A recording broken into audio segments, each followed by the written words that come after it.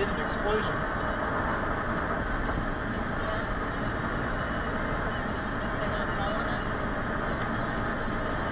Bet uh, the dash cam that.